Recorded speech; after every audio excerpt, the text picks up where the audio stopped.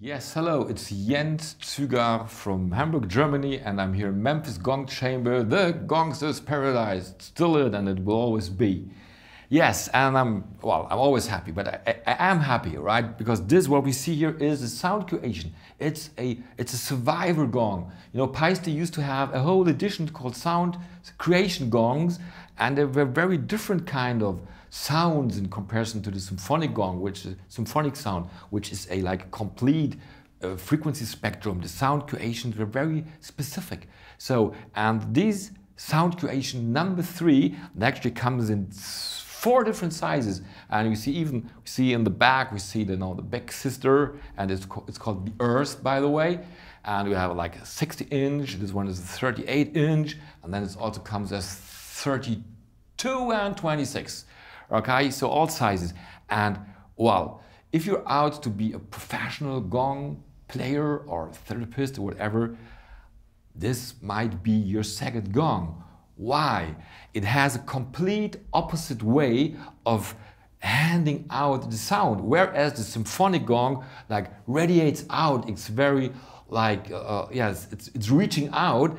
This sound of the of the of the sound creation is complete opposite. So the one is expanding and this is contracting. So this is just the opposite way. It doesn't have a center node. You don't see even a center space as we see on the symphonic. So it's no center. And when you really listen to it, it's so different, you cannot really identify a center node. So when you would play a symphonic and a sound creation, it is as if you play inhaling, exhaling, inhaling, exhaling. So you have two different gongs and to feature the most important process like breathing, which is on the priority list of you know like things to do, number one for sure.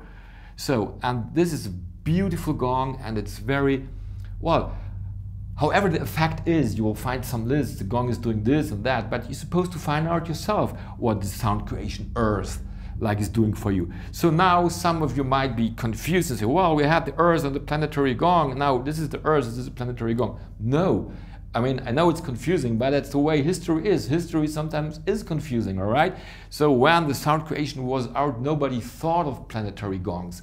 And at the time I was into that project, into this project, we were even thinking of getting the frequencies of the cosmic octave for the Earth tones, getting it into the sound creation gong, but it didn't work, right? For what? For some reasons, due to physical things. But this gong, and I remember playing it on the rim, and then also like really feel this vibration. It's very kind of permanent, rolling crescendo type of gong sound, and well, it adds on a symphonic gong in the perfect way and I really suggest so this is be like the gong number two and then with a symphonic gong and a sound creation number three you have a perfect match to be professional high-end status state of the art till the end of times. Thank you very much for your attention